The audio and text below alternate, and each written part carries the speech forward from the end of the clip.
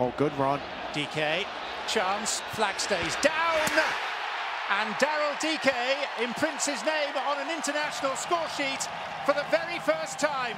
Costa Rica is too slow to react on Carlo Gonzalez. And just a wonderfully timed run, but then it's the composure, knowing that the keeper, the defender's off your backside. You wait for the keeper to give you any kind of angle and just slots it in the back of the net.